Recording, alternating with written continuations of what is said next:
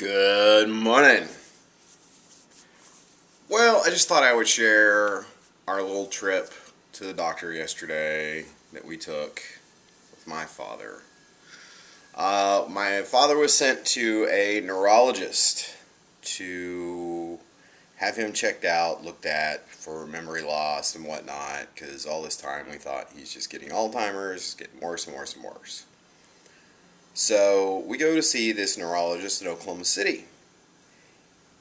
And we get in there, and this neurologist is an older man. He's wearing a suit and tie, uh, which, you know, that's okay. He wasn't wearing a lab coat like most doctors do. And he's performing a memory test on my father. And you know, in my head, I'm going through the memory test too, and it was wasn't real hard, but it was kind of hard. one of the things he had my father do was he gave him three things he wanted him to remember. It was the color purple, a book, and corn. He's like, "You got those in your head?" And my dad's like, "Yeah." So he continues on his test, and later on he comes back. He goes, "What were those three things I should remember?" My father was like, "Uh." uh he's like, "Well, one of them was a color." And Dad's like, "Purple." He goes, and what else? Dad's like, yeah, I can't remember. So that wasn't very good. So the doctor also orders his MRI from two years ago. Um, two years ago, his sinuses were bugging him tremendously bad. So he snorted a whole bunch of nasal spray. And he goes out and has this MRI done that he had already had scheduled. And the nasal spray, what we were told, made it look like he was having a massive aneurysm and they like freaked out threw him in an ambulance sent him to oklahoma city scared the hell out of all of us and we all went running up there. And then come to find out they do an mri in oklahoma city and they say well it's because he snorted a bunch of nasal spray. And you know they left him for observation overnight and then they sent him home. So we thought no big deal. So this doctor orders that mri and he looks at it and he's like well he did have bleeding on the brain, he did have like a mini stroke then. And we're like, that's not what the that's not what the hospital told us. You know, my mother was just like, what? What the hell? They no, they said it was because of the nasal spray. And he's like, no, I'm looking right here at the report. So I was like, oh, that's nice. So they didn't even tell us the truth when he was in the hospital two years ago. But um, this nasal spray that my father uh, treats like uh, cocaine is causing him a lot of issues with his health because his allergies are so bad because uh, he won't stop the dairy, he won't stop the wheat, he won't stop the meat, he won't listen to me. He'll drink, he'll sit there and drink his super smoothie and eat one of those disgusting little senior meals that I've showed you guys.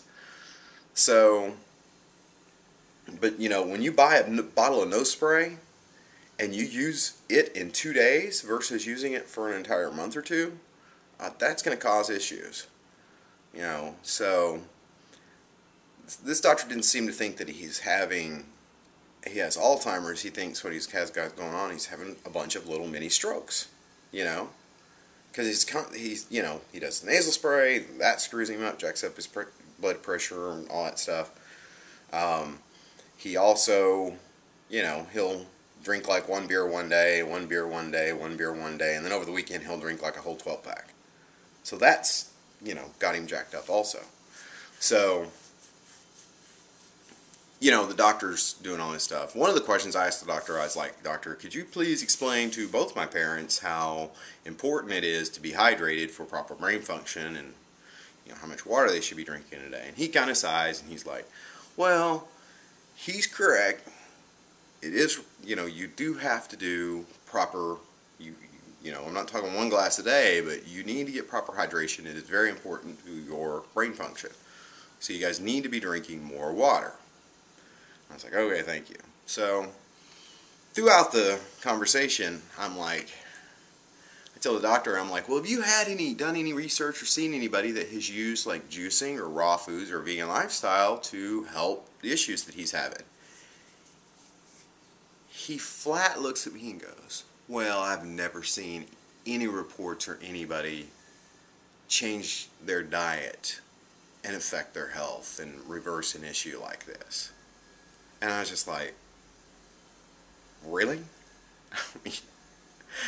in my head, I'm going through a thousand things. I'm like, oh, I could like take the whole raw food Bible, forks over knives, and just club this guy over the head with it, and say, or say, you know, oh, look at me, you know, really? You've never seen anybody, and you know, oh, wow. I mean, I was ready just to let this doctor have it. But in my head, I was like, it clicked real quick, and I was just like, why go there? This guy's older. He's just buying time till retirement. He's on cruise control. Why even waste the energy? And I thought to myself, what's this button down collar white doctor? What, can I say to get his goat? So I, I smile and I'm like, well, have you seen the latest studies about juicing raw cannabis and all the benefits to stimulating neural activity in the brain? And he leans back and gets this smirk on his face. He's like, well, there was a Stanford University Stanford University study done in 1970 that proved that that's just a bunch of hooey. and I was like, wow, 1970s? 1970. Maybe we should need to do a memory test on you. I mean, what year is it, sir? So I just smiled and I was like, okay, whatever. And I looked at my mom like, and she gave me a look like, 1970? And we talked about it later. I was like, 1970. Wow. I think some things have freaking changed and happened since 1970. One freaking study. See, that's the issue with doctors. They see one study, they don't know who does the study. Of course, it was approved by the American Medical Association because they have seen it. They don't look at stuff that's not done by, you know, like the uh, Institutes for uh, Alternative Medicines do tons of studies that never get seen or looked at by the American Home Journal, you know, because, uh, you know, the, the Medical Association, that's the only thing to go by. Those guys wrote all the rules. So it's just sad and pathetic that that's the mindset of doctors are so closed-minded to this stuff. But anyways, I got a lot of work to do on my father, and there's some specific juices I'm going to be working on with him. Um, in July, after I get moved and settled and a few more things calm down, they have committed to doing nothing. I was like, you guys, give me 30 days. Give me 30 days. That's all I'm asking for. You eat, drink, and consume nothing that I don't put in front of you. If you can't handle all juice, we'll do juice and raw foods. If you can't handle some raw foods, Dad doesn't like eating salads, I'll make him some cooked vegan foods. 30 days, nothing goes in your bodies except for what I tell you to do.